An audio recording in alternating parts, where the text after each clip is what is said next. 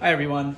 This is my Trek Checkpoint SL6 uh, 2018 version. It has an Ultegra RX 805 Di2 derailleur. And right now, uh, this is just my road setup. So I'm running 2 by with 50, 34 in the front and 11, 28 in the back. The reason I really enjoy this bike is because it's so versatile and I bought it because it's so versatile. So besides road riding, I expect this bike to sort of be my N equals one and I really wanted to use it for gravel as well, possibly bike packing. And um, I also do triathlons, so I got rid of my tri bike and was hoping that I could use this bike for time trials. Um, so I made sure that the geometry uh, could replicate my time trialing position and that all checked out, so that's great.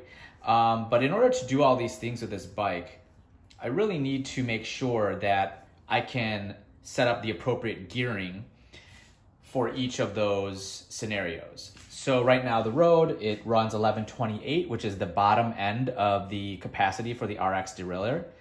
Um, the top end is 1134 and that's good. But I anticipate if I want to go uh, into more rougher gravel or bike pack uh, bike packing, I would need some uh, lower gears. So possibly an 1142, 1146, maybe even um, an 1150. And if I plan, I'm also thinking about going 650B um, to get more tire volume uh, for the rougher terrain. So that might require me to remove the front derailleur and run this as a one by. So then I would definitely want more gear range back there. Um, problem is I've seen people run the RX with uh, up to my about 1140 or 1142 even. But if I wanted the 1146 gearing in the back or 1150, I would need to go to a longer cage. Um, and that's important because this the length of this cage will dictate the capacity, the cog capacity, uh, teeth capacity for your bicycle. So the longer the cage, the better the rear derailleur will be at taking up the extra slack. Because imagine if I had a, a large uh, rear sprocket, like a 46 tooth back here, the chain would have to be a lot longer um, in order to wrap around that cassette, uh, sprocket uh, compared to when it's down here at the 11 tooth. So when it's at the 11 tooth, you might have a lot of extra slack and you might see your cage swing all the way back here. But if the cage is too short, it won't do a good enough job at taking up the slack.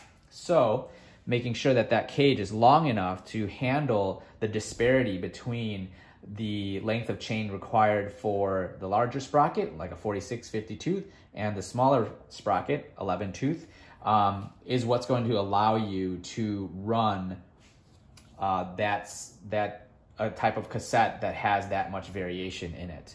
So my idea is to swap out. This is a RX with a mid cage uh, length cage. So the uh, Shimano derailleurs come with three different cage sizes.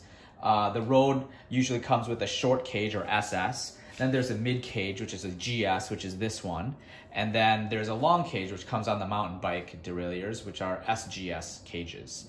Uh, those cages are usually rated for like 1142, 1146, and are found on like the XT and XTR derailleurs. So uh, what I want to do is I want to try and swap out this GS cage for an SGS cage.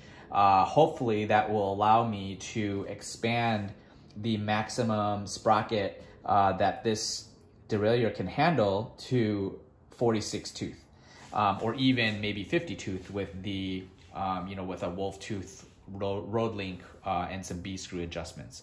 Um, so we'll see. Uh, let's get started and see if it works. So here is the RX 805 Di2 rear derailleur. This is still with the GS cage on there. And what I wanted to show you guys is here is the cage um, plate, the inner plate, cage plate uh, from, or the outer cage plate, I'm sorry, from the uh, Shimano XT mountain bike rear derailleur. So this should extend um, the capacity between the lowest and the highest sprockets in a cassette from 11 to 34 or 34 with this one to 11 by 42 or 46 with this one. Um, as that derailleur is rated for that tooth capacity. Now, what it does is if you look at the geometry, the pivot point of the RX cage for the top jockey wheel is the same as the position of the jockey wheel. So the jockey wheel is exactly in the center of where this arm pivots. This guy, um, the pivot pivots around this center bolt here, but the jockey wheel is attached upwards and out out from the center. So you can see here, this is where the mounting point is. This is where the jockey wheel is. So the jockey wheel in the lowest gear will be pushed higher, closer to the cassette when it's in the lowest gear or in the 11th sprocket. And as the cage pivots, okay, the wheel is going to get pushed further back and that will help uh, close the gap between the upper jockey wheel as well and the um, largest sprocket in the back. My concern is, as you see, when I'm just um, trialing this out by hand, once this cage pivots, I don't have much clearance between this cage and that mechanism. So there's a possibility here that this might not work because the cage might run into the mechanism. But the glimmer of hope that I have is if we look at the shifting from the side here or from the top, and as I shift index through the shifts, you'll see that as this cage turns, um, as this cage turns like this, where we would start seeing maybe some interference between the body of the derailleur, the cage will also start shifting out. So my thought is that if the cage can shift out uh, enough, here I'm shifting. See, here the cage is shifting out. And by this time here, the cage should be clear of, of the body, as you can see from the top view here. So if I line that up where we are right now, um, this is hard to do because I'm offset a little bit, but there, this is a horrible illustration, I'm sorry. Um, so the jockey wheel should be out, you know, in this area. It might be close, it might be close. Um, and as we continue to shift up the, the cassette range here, this is the max. So when we're in this position, we also have to remember that this is gonna be under a lot more tension when it's on the chain. So this guy is gonna be, you know, hanging out here pivoted down like that, but from the top view, should have some clearance from the body, but we won't know until we try it. So here goes nothing. Uh, I'm gonna remove this cage, put on the XT derailleur cage and see what happens. That's the inner plate. And then I also have the washer for that one. 44 grams for the XT uh, M8000 derailleur SGS long cage. Let me weigh the RX 805 again because I forgot to include that little stopper bolt. There we go. Didn't really make a difference. 37 grams. Okay.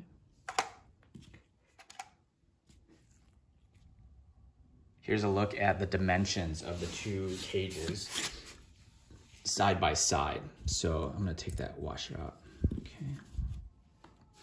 All right, so this is the RX 805 uh, derailleur cage.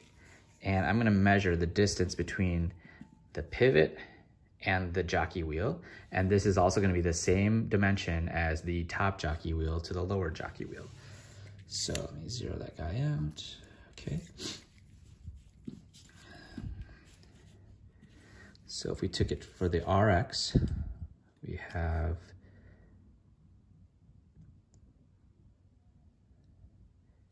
center to center. Say close to about 93 millimeters center to center. 93, 94 millimeters there. Okay, for that. Then that's for the RX. This is for the M8000 cage. So center to center, this is just from the pivot points now for the M8000 cage. And it's about 101, 102-ish. Okay. Yeah, about 102 millimeters. Now, if we look at the jockey wheel positions, about 107 center to center. Okay. So here is the M8000 um, SGS long cage uh, inner plate, outer plate mounted to an RX Ultegra 805 derailleur in hopes of expanding the cassette range that it could handle.